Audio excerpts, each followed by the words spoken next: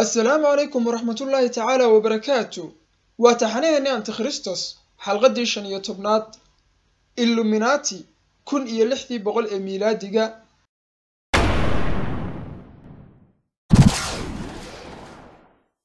sheekada waxaa inooga faalloon doona laba ruux oo nin iyo gabadh kale ah.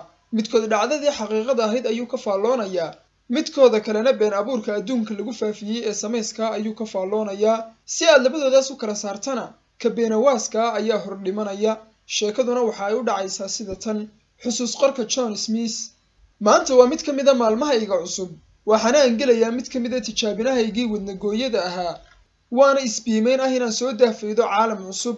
Waxaan doon weyn u kaxaystay aniga iyo koox kale dhanka galbeed ee caalamka dhanka qaaradda ugub. Ee aan dowlado iyo loolanno midna lahayn waa dhul dihin oo ruux kastaaba waxa uu doono uu ku fushan karo waxaanaan maqlay inay qaaraddaas degan yihiin dad hindi ah oo cascas. Ayna baal shimbiraad madaxa ku qaataan. Sidoo kalena ay yihiin dad dugaaga oo soo galootiga necab ruuxa ay qabtaanna ay karsanayaan oo ku raynraynayaan karkarkiisa. Waanaga u soo dhowaanay berrigii. In badan ayaanu badda ku soo daaleeyay waxaanu aragnay berrigii ay nafahayagu u baholyoobeen balse waxaa soo ordayay hindi cas oo waran la soo xiimaya.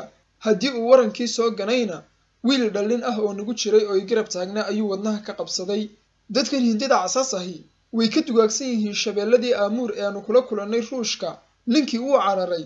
Waxaanu u malaynaynay inuu collaalkii kale u baaqayo. Haddii aanu cagta ciidda ku hubsannayna annaga oo baqayna ayaanu saldhigiya samaysanay sidii aanu u baqaynay ayuuna gobolkii dhacay oo habeennimo la gaadhay. Xusuus qorka bokaahontaas waxaan u dhashay boqortooyadii boohataan. Waxaana aan ka deganaa magaalada weero komeko. Aabbahayna waxa uu ahaa waan siinaak magacayguna waa matowaka waxaana aan ahay toban jir. Magacaygana macnihiisu waa ubax ku dhex yaalla laba iliilood oo tuuladayada ayaa laba webi ku dhex taallay. Magacayga labaadna waa amonaati aabbahayna waxa uu ahaa boqorka boqortooyadayada. Aabbahay wuxuu guursaday soddon dumara waxauna dhalay soddon carruura aniga ayuuna iga wada dhowaysan jiray. Sababtoo ah waxaan ahay bokaahontaas. Magacaasna macnihiisu waa yartii qalqaaliga ahayd. Sababta uu aabbahay dumarka badan u guursanayeyna waxay ahayd inay dhaqan noo ahayd inuu boqorku tuulo walba gabadh ka guursado oo ilmo ku dhalo si ay tuuladaasi isaga daacad ugu noqoto balse hooyaday siyaasadu ma uu guursan ee jacayl ayuu ku guursaday waxayna ahayd xaaskiisii ugu horreeyey. Iyadana waxaa la odhan jiray bokaahontaas hooyadayna way umul aroortay markii ay dhashay. Aabbahayna markaas boqor ma uu ahayn. Sidaas ayuuna aniga bokaahontaas iigu bixiyey. Si uu magaca hooyaday u sii noolaado. Waxaa noo yimi kuwayrikos oo noo sheegay inay xeebta ku soo degeen dad caddaan ahi. Waxaana aanu u sheegnay inay soo dhoweeyaan oo marti sooraan. Tusaanna gobonnimada boqortooyada boohataan. Kuwayrikosna waa wadaadadii diinta ee boohataan. Waana golaha ay tiradu ka go'do. Markii ay dadkaas cadcadi soo galeen xeebaha yagana waxa u bambaxay raggii iyo dumarkii ugu sitay boohataan. Waxayna sideen cuntadii ugu wanaagsanayd ee reer weere komoko. Soo dhowayntayadaasna aad ayay ugu riyaaqeen dadkii cadcaddaa waxayna na siiyeen naxaas badan oo agtayada dahab ka dhignayd runtii waxay ahaayeen daduu wanaag ka muuqdo. Xusuus qorka john smith. Waxaa noo dhammaatay afar bilood oo ay goor iyo ayaanba hindida acsaasi weerar joogto ah nagu hayaan. Naxaastii aanu sidanay ee aanu cuntada kaga iibsanaynay reer boohataanna way naga dhammaatay dadkaasina waxay ahaayeen dugaag aan waxba bixin ee marna wax naga iibiya marna nala dagaalama. In badanna waannu isku daynay inaannu xidhiidhsan la yeelanno balse maaha dad loo geli karo. Saadkaanu ingiriiska kala nimina wuu naga dhammaaday waxayna noo noqotay inaannu gaajo u madhanno iyo inaannu ku duullo oo soo boobno. Waxaana aan kaxaystay raggii ugu sitay colkayga waanaan ku duulay. Intii aanu sii indhaindhaynaynay quruxda magaaladan. Ayuun baanu aragnay niman qamarjiyo ah oo laash webiga ku raacaya dhankaygana u soo jihaysan oo indhaha nagu gubaya. Kadib dabka ayaanu saarnay si aanu isaga horweecinno balse midkood ayaa qaylo ku dhuftay. Saadhirtii nagu hareeraysnaydba nagu soo dareertay. Raggaygina cagaha ayay wax ka dayeen. Markii aan isidha cararna gacanta ayay igu dhigeen. Markii aan dhacayna waxa aan arkay wixii dhirta ahaa inaanay ahayn geedo ee ay ahaayeen dad cascas oo baalal shimbiraad madaxa ku wada sita mana aanan filan inay noloshaydu sidan foosha xun ku soo gebagaboobayso.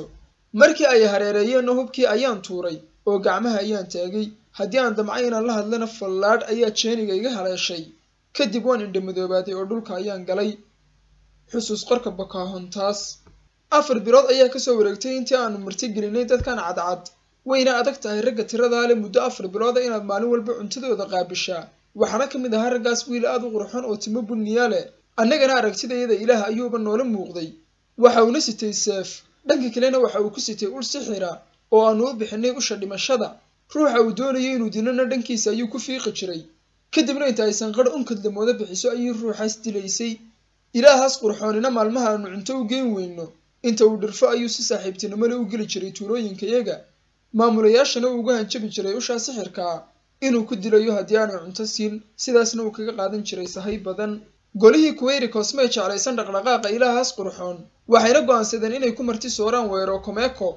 Aabbahayna ay wadahadal yeeshaan oo arrimahan ka faalloodaan waxaana loo soo diray adeerkii rume oo la odhan jiray oo bishaanka aadna u xoog weynaa waxayna ku kulmeen webiga ilaahaasna raggii la socday way firdhadeen. Isagiina si caadi ah oo aan camaajurayn lahayn ayaa loo qabtay kadib adeerkii tuulooyinkii oo dhan ayuu soo mariyey isagoo u sheegaya inaanu ilaah ahayn ee uu yahay aadame. Ushan sixirkuna ay tahay hub uu aadama samaystay oo horumarsan. Ushaasina waxa ay ahayd qorigan dhaca. Caddaynna waxa uu uga dhigay inuu soo xidhay oo uu maxbuus ahaan u wato. Ninkaasna marnaba waxba looma geysan. Si xunna loolama dhaqmin taasna waxaa sabab u ahayd dhaqan wanaagga reer boohataan. Xusuus qorka john smith. Waan soo miiraabay mise afar hindi oo xoogag waaweyn ayaa i hahaya waxayna igu sii wadaan dhisme aad u dheer. Dadka casaasina si faduulnimo leh ayay iisoo wada eegayaan. Xataa haddii aan ka baxsan lahaa waxaan dhex joogaa tuuladoodii. Haddii aanu dhismihii gallayna waxaan arkay nin dhar dharka kuwa kale ka duwan sita madaxana baalal shimbireed oo badan ku sita. Wejigiisuna uu midabo kala duwan ku nashqadaysan yahay waanan gartay inuu yahay boqorkii. Boqorkii si kakan ayuu ila hadlay. Hadal cufanna wuu igu yidhi aniguna garbaha ayaan ugu muujiyey inaanan fahmayn waxa uu ka hadlayo. Kadib si cadho leh ayuu hadallo badan u yidhi waxa igu soo haaday afar nin oo qamarjiyo ah dhulka ayayna i wadheen. Midna seef ayuu la soo baxay oo i dul hadhiyey aniga oo naf ka qustay oo sugaya intay seeftu soo degayso aadna u qaylinaya ayuun baanu dhammaantayo maqallay cod baxaya mise waa cod haween oo dhidigaansho ka muuqdo. Haddii aynu soo gaadhayna waa inan filkaroona oo wax lagu sifeeyaaba aanay jirin. Kadib inta ay isku kay gudubtay ayay si cadho leh ula hadashay raggii gadoodsanaa jidhkaygana way isku feeraarisay si ay iga ilaaliso seefaha anigana damcii raganimo ayaa i galay oo waxaan dareemay inaan jannadii ku jiro oo aanan tuuladii yarayd ee ba'aysay ee hindidaba joogin. Magaceedu waxa uu ahaa bokahontas waa gashaanti siddeed iyo toban jir muggeed u buuxda ah. Waana inantii boqorka oo iga waabinaysa kakanaanta ay tolkeed igula dhaqmayaan.